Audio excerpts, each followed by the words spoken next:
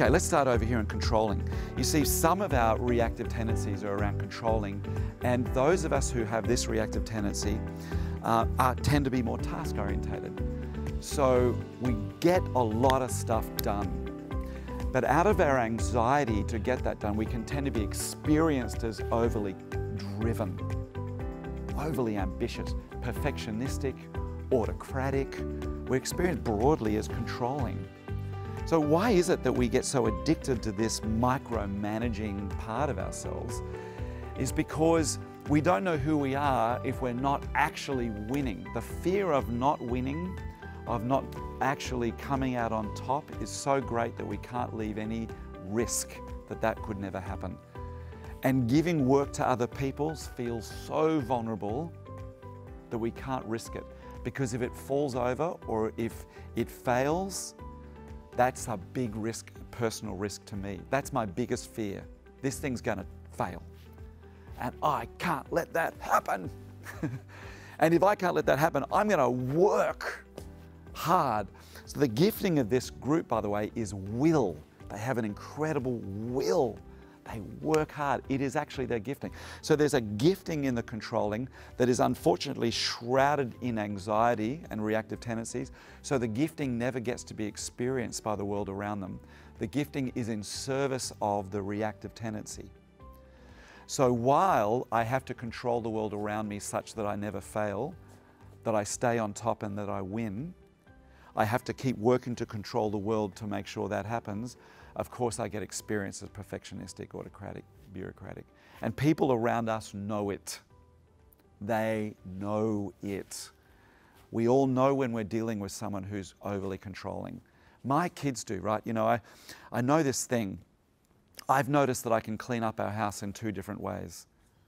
And uh, like, actually, it might look like I'm cleaning up, just cleaning up the house, but I'm doing it in two different ways. Sometimes I find out someone's coming over to our house and there's this thing that cuts in. I look around the house and go, oh my God, this place looks shit. You know what I mean? And then a part of me goes, what are they going to, and if I'm really honest, right, if I'm really honest, I go, what are they going to think? I don't want, I don't want them to think about me in that way.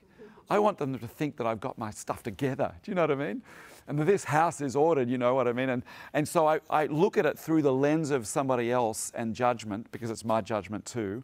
And that's when I walk into the house going, who's what's this doing here? This has been here for two days. Can one of you guys come and get this thing? Can you move that? You know, and like I, I thought I saw one of you wipe down the kitchen bench, but I'm seeing smears all over that thing. Like someone come and do that. And I get into this heavy duty kind of task. And I know because, of course, there's a certain anxiety in me about cleaning up the house. And that anxiety gets expressed in a kind of a criticality, a, a harshness.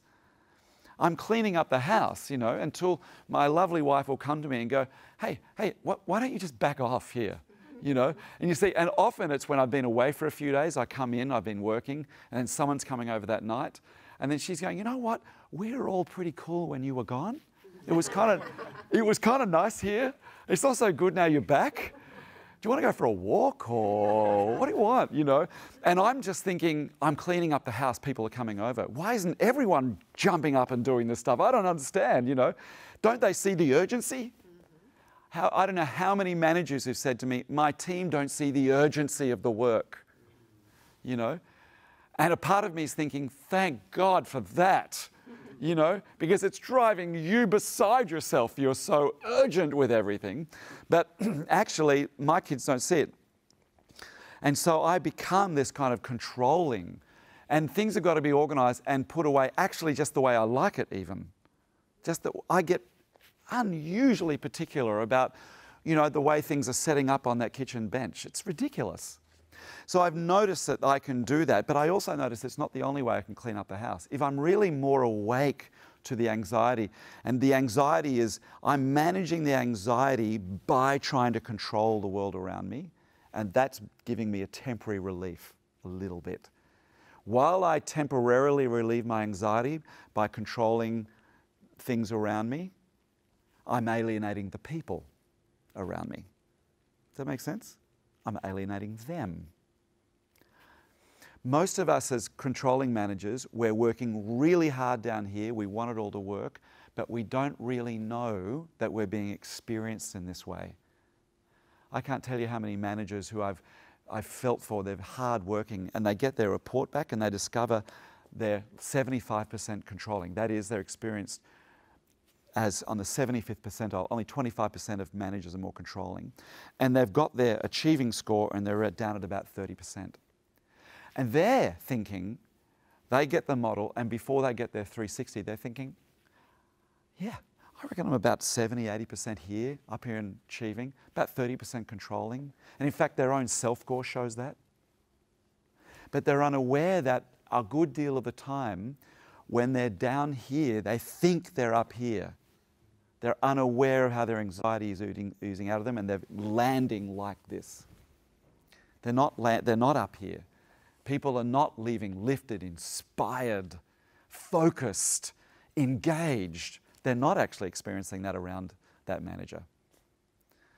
My kids are not going, Yeah, dad, I'm teaming up with you. Let's get this place. You know what I mean? They're kind of cowering.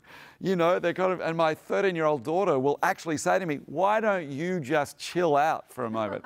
That's when I feel like breaking all the rules with a kid. You know, like you know, I shouldn't even do that for the camera, but you know what I mean. Like I, ne- I, I don't hit my children, but you know what I mean. It's just like, you know. But there are times, there are times when um, I want to clean up the house, and I clean up the house, and I'm not quite like that. And I'm cleaning up that. Maybe people are coming over, but I've got a different question in mind. What would I love for them to experience? What do I want to create here? What's the space that I want to create so that when they come, they're really welcomed? That it's what do I want? I want welcoming, I want warmth, I want ease. I ask myself those sorts of questions. And then I look around the house and go, what needs to happen to create that?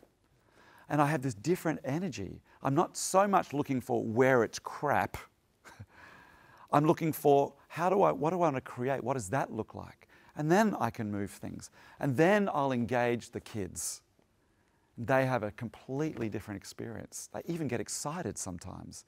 We're going to do that, Dad? Let's do this. Hey, let's get an outdoor fire going. That'd be cool, don't you think? Yeah, that'd be great. I'll get the timber you know, so we get the dish out and that sort of stuff because they're excited about something they want to create together. We're actually just still preparing the house, but it's a different experience. One of them, I'm coming from my reactive self, which my behaviors have as their unspoken strategy to help me avoid or lessen uncomfortable feelings. That's why I'm behaving the way I am. Up here is a different matter. I'm no longer doing that. My actions are in service of what I want to create. So, this is controlling, and the primary fear here is failure because who am I if I fail? I don't know. I haven't got a strong sense of self yet, so I can't afford for that ever to happen. And some of you will have here in the room, your tendency will be on task and it will be around controlling and, you, and you, how you notice you become controlling. Okay, so that's controlling.